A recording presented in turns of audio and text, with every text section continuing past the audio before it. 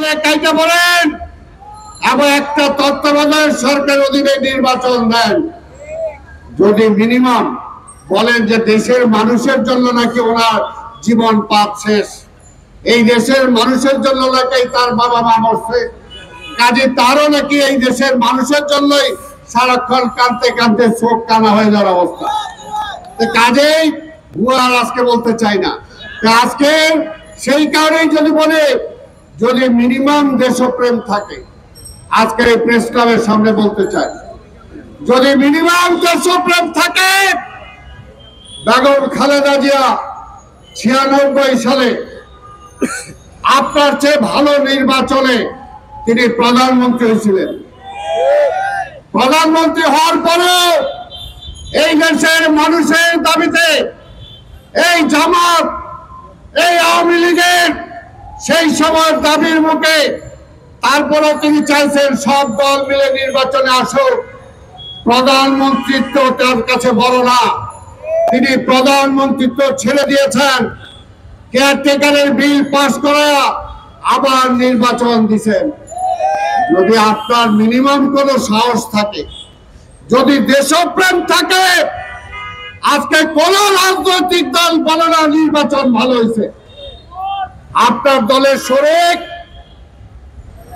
রাশেদ খান মেনন বলে না, নির্বাচন ভালো হয়েছে। আপনার দলের শরিক হাসানুল্লাহ কিন্তু বলে না, নির্বাচন ভালো হয়েছে। আপনার জোটের শরিক আদর্শের মঞ্জু বলে না, নির্বাচন ভালো হয়েছে। বাংলাদেশে আরও অনেক দল আছে, কমিউনিস্ট পার্টি সহ। সবাই বলছে এটা কোনো নির্বাচন হয় নাই।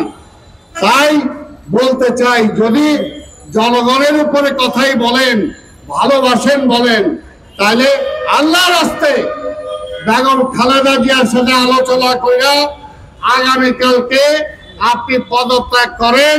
পদত্যাগ করার আগে যেমনি হবে খালেদা জিয়া, ওই তত্ত্বাবধায়ক সরকার পার্লামেন্টে পাশ করছিল। আপনিও যদি বুকে সাহস থাকে, দেশপ্রেম মিনিমাম থাকে তাহলে এই পার্লামেন্টে তত্ত্বাবধায়ক সরকারের বিল আবার পাশ করে সাহস থাকলে বিরোধী দলের মা রাস্তায় এসে তারপরে নির্বাচন করেন। দেখেন জনগণ আপনাকে চায় কি চায় না। তাই আমি আর বক্তব্য দীর্ঘায়িত করতে চাই না।